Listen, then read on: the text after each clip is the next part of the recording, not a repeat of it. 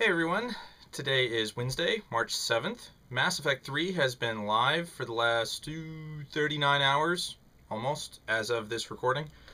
And out of that, I've put in about 21 hours of playtime, according to my latest save file. Um, I don't want to get too deeply into any spoilers whatsoever. I do have something to say about multiplayer. I did some multiplayer last night.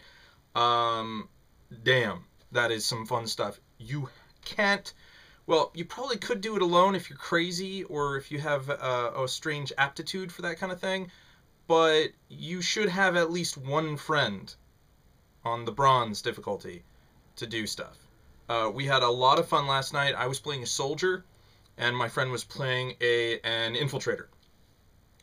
One of the best upgrades he got in one of the packs we were finally able to afford once we got going uh, was uh, an ammo increase for the Mantis sniper rifle.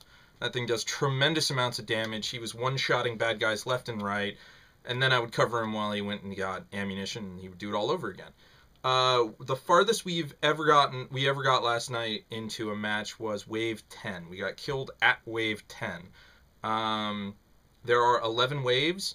Wave 10 ended us. I think it's because we got swamped by a Geth Prime and a Pyro and uh, they just they just start piling it on. Um, but it was tremendous, tremendous amounts of fun. The single player game, however, uh, I'm gonna warn you, Tuchanka is a heavy place. Um, there are four missions to do on that one world alone, uh, and it's the the last bit of it is exceptionally emotionally heavy, so be prepared. Um, as well as uh, when you return to the Citadel afterwards, well, let's just say try and get as much stuff done before uh, finishing Tuchanka, before you return to the Citadel, um, uh, because things happen. Uh, and and it, a la the collector attack on your ship, you know that sort of thing in uh, Mass Effect 2. So, anyways, uh, I'm gonna get back to the action. Uh, well, I need to eat. I haven't done that today. Um, but already I've witnessed several tragedies today in Mass Effect 3, and uh, I need to do something about that.